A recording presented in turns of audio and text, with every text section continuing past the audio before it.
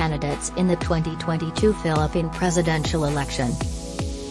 1. Abella, Ernie. Independent. Ernie Abella, 72, is a businessman, writer, and pastor who is a longtime supporter of President Rodrigo Duterte.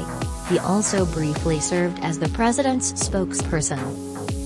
He is running as an independent candidate, seeking to promote the participation of ordinary citizens and small entrepreneurs in governance, better access to food and healthcare services to children and senior citizens.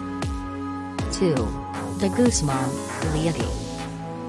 Partido Lakas NG Masa. Leody de Guzman, 61, is an activist and labor leader who has pushed for policies to secure the rights and welfare of workers since 1984. He ran for senator in 2019 under the tagline Manggagawa Naman but failed to secure a seat.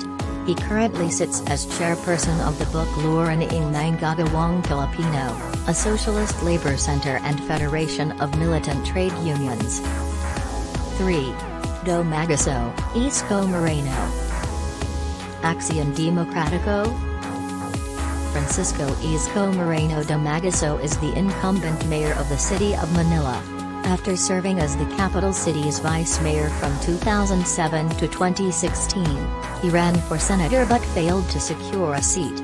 He was then appointed by President Rodrigo Duterte as chairman of the board of the North Luzon Railways Corporation and later, undersecretary at the Department of Social Welfare and Development. 4. Gonzales, Norberto. Partido Democrático Socialista Pilipinos.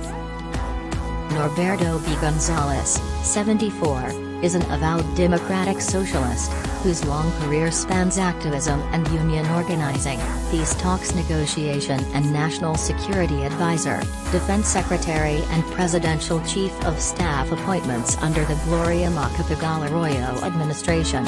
He chairs the Philip Negation Democratic Socialist Party, which has roots in the protest movement in the 1970s and participated in the mass campaigns against the Marcos dictatorship, peace talks with the Moro National Liberation Front and the ouster of President Joseph Ejercito Estrada. 5. Lacson, Ping. Independent. Ping Lacson, 73 has served in the legislative and executive branches of the government for over 40 years. He is currently serving his third term in the Senate.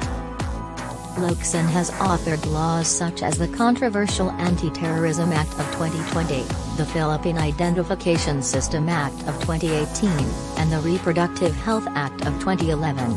He has long served as a watchdog on the national budget, pushing to delete pork barrel and other questionable insertions during plenary Senate debates. 6. Mangondato, Faisal Katipunan NG Kamalayang Mongi Faisal Mangondato is a businessman who is running as the standard bearer of the Katipunan in Kamalayang Mongi party. He was born in Remendizan, Lanao del Sur, and currently resides in Marawi City. 7. Marcos, Bongbong. Partido Federal NG Pilipinos. Ferdinand Bongbong Marcos Jr., 64, son and namesake of the late ousted dictator, was elected unopposed into vice gubernatorial seats in Ilocos Norte at the height of his father's regime in 1980, and eventually into congressional seats representing the same province after his family's return to the Philippines in 1991.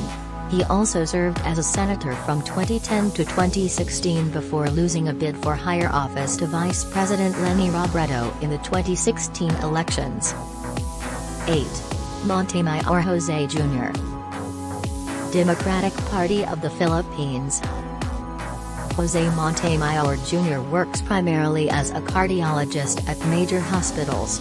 He claims to bring a medical, legal and economics background to the presidential race and his first campaign for public office. 9. Pacquiao, Manny Pacman Abag Promdi Manny Pacquiao is a Philippine legislator who has served in both chambers of Congress since 2010. He first gained acclaim as a world-class champion boxer and juggled his careers as a public official and athlete until 2021 when he announced his retirement from the sport. The boxer turned legislator is also a preacher and founded the Church Word for Everyone Ministries International Incorporated in 2012. 10. Robredo, Leni. Independent Leni Robredo, 56, is currently serving as the 14th Vice President of the Philippines. Her office has garnered the highest audit rating from the Commission on Audit for three consecutive years, 2018 to 2020, and has been recognized by Malacañang for its pandemic response programs across the country.